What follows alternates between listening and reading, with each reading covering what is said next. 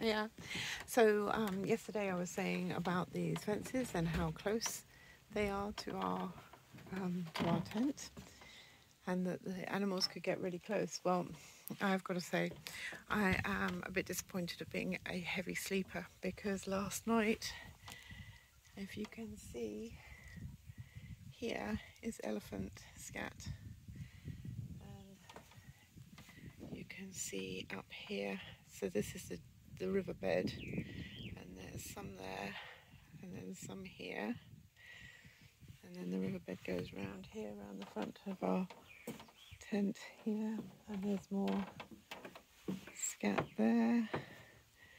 Um, and then there's more over there, and they would have made their way up to the the water spot up here.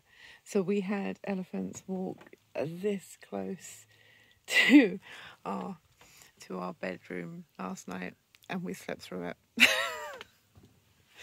How typical is that, isn't it? Something gets that close to you, and um, and you're not there and not awake to see it. But it's quite um, humbling to know that they came that close to us.